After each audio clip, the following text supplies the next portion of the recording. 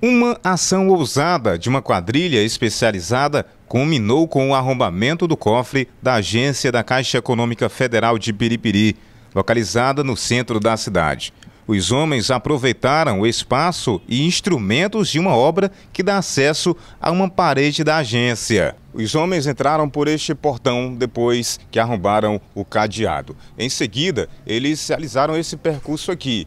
Deixaram, inclusive, esse chapéu também é, deixaram estes óculos aqui também, porque eles utilizaram maçarico, utilizaram como proteção individual, com proteção aos olhos. Em seguida, é claro, para se utilizar do maçarico que precisa de energia elétrica, eles utilizaram a própria fiação aqui do sistema elétrico da obra para poder levar esse fio, Paulinho. Mostra esse fio aqui para onde vai o percurso desse fio. Olha só, o fio ele vai indo e até onde? Você observa aí que ele já atravessa, já passa ali pelo muro. E utilizando dessa escada, dá um zoom na escada e mostra a escada também disponibilizada aqui no local desta obra que estamos. Eles se utilizaram para chegar do outro lado. Essa fiação conseguiu chegar até dentro do cofre após eles também arrombarem a parede é, do prédio da Caixa Econômica Federal. Lembrando que o prédio da Caixa Econômica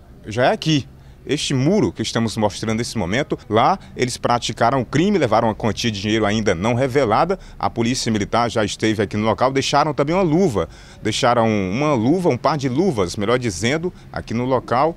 E eles nesse momento é, estão sendo procurados pela Polícia Militar. A Polícia Federal também vem aqui pegar informações, indícios, para que se possa chegar até esses indivíduos que praticaram arrombamento no cofre da Caixa Econômica Federal de Piripiri. Por conta do crime, a gerência da agência suspendeu o atendimento ao público. Um aviso foi exposto na porta, informando os clientes que procuraram o serviço bancário.